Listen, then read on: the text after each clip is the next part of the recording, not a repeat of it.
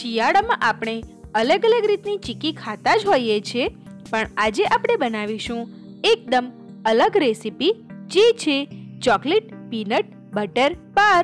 આ બાર ખાવામાં ખૂબ જ ટેસ્ટી લાગે છે અને બનાવ પણ ખૂબ જ ઇઝી છે.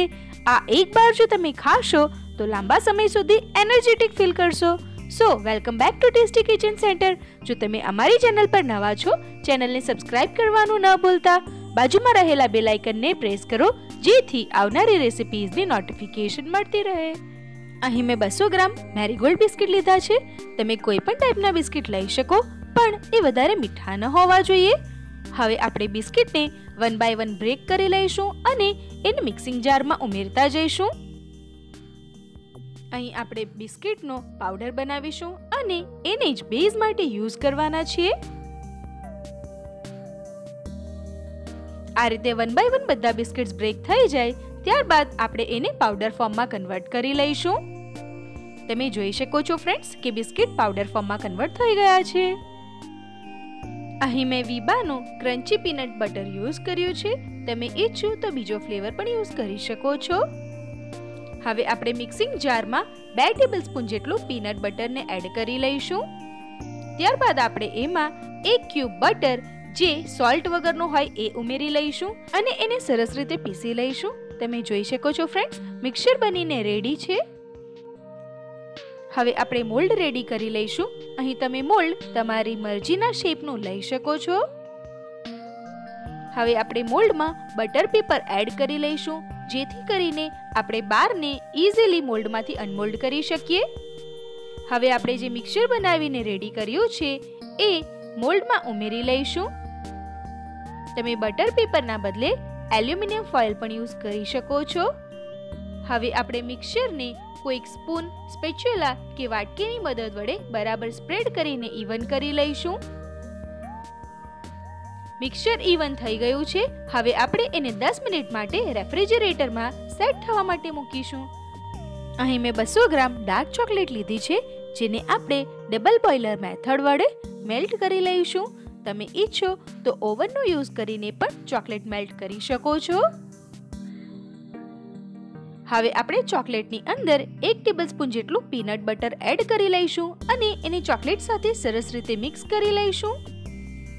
આ રીતે પીનટ બટર ઉમેરવાથી આપણી ચોકલેટ ખૂબ જ સાઈની અને એકદમ સ્મૂથ બની જશે. તમે જોઈ શકો છો ફ્રેન્ડ્સ કે આપણી ચોકલેટ ખૂબ જ સરસ સ્મૂથ અને એકદમ શાઇની થઈને રેડી થઈ ગઈ છે.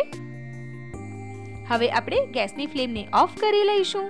દસ મિનિટ બાદ તમે જોઈ શકો છો કે આપણું જે મિક્સચર હતું એ સરસ સેટ થઈને રેડી છે. હવે આપણે મેલ્ટ થયેલી ચોકલેટને મોલ્ડમાં ઉમેરી લઈશું. અહીં જે આપણે ચોકલેટ એડ કરીએ છીએ અને જે બેઝ છે એ બંનેનું કોમ્બિનેશન ખૂબ જ ટેસ્ટી લાગતું હોય છે.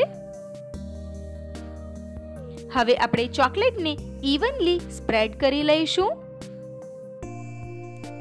આ રીતે એને આજુબાજુથી, કોર્નરથી બધી બાજુથી ફેરવીને સરસ રીતે સેટ કરી લેવું. ત્યારબાદ આપણે મોલ્ડને એકવાર સરસ રીતે ટેપ કરી લઈશું, જેથી કરીને એર બબલ્સ નીકળી જાય. હવે અહીં આપણે માર્બલ ઇફેક્ટ આપવા ઈચ્છીએ છીએ, જેથી કરીને પીનટ બટર એડ કરી લઈશું. તમે ઈચ્છો તો સ્પ્રિંકલર્સ કે પછી ડ્રાય ફ્રૂટ્સ પણ એડ કરી શકો છો. આ રીતે રેન્ડમલી આપણે પીનટ બટરને એડ કરી લઈશું. અહીં મેં પીનટ બટરને મેલ્ટ કરી લીધું હતું. તમે કોઈ ફોક કે પછીથી ટૂથપીકની મદદ વડે કોઈ પણ પેટર્ન બનાવી શકો છો. હું આ રીતે એને સર્ક્યુલર ફેરવતી જાઉં છું. અને તમે જોઈ શકો છો ફ્રેન્ડ્સ કે ખૂબ જ સરસ એવી માર્બલ ડિઝાઇન બનીને રેડી થઈ ગઈ છે. હવે આપણે ચોકલેટને દસ મિનિટ માટે રેફ્રિજરેટરમાં સેટ કરી લઈશું. દસ મિનિટ બાદ ચોકલેટ સેટ થઈને રેડી છે. હવે આપણે બટર પેપર વડે ચોકલેટને બહાર કાઢી લઈશું અને એને એક પ્લેટમાં મૂકી લઈશું. હવે ત્યારબાદ આપણે એને ચપ્પુની મદદ વડે કટ કરી લઈશું. તમે ઈચ્છો એ શેપમાં ચોકલેટ્સને કટ કરી શકો છો. તમે જોઈ શકો છો ફ્રેન્ડ્સ કે ખૂબ જ સરસ રીતે આપણી ચોકલેટ કટ થઈને રેડી થઈ ગઈ છે. આ રીતે મેં ફર્સ્ટ પીસ કટ કરીને રેડી કરી લીધો છે અને તમે જોઈ શકો છો કે એના ઉપરનો અને નીચેનો લેયર બંને ખૂબ જ સરસ રીતે સેટ થયા છે અને કોમ્બિનેશન પણ ખૂબ જ સરસ દેખાય છે. હવે આપણે આ જ પ્રમાણે બાકીના પીસીસ કટ કરી લઈશું અને એને આપણે ઇવનલી ડેકોરેટ કરીને મૂકી લઈશું. તો વિન્ટર અને ફેસ્ટિવ સિઝનમાં ટ્રાય કરો આ એનર્જીથી ભરપૂર એવી ચોકલેટ પીનટ બટર બાર નાનાથી લઈને મોટા બધાને પસંદ આવશે, વારંવાર ખાશે.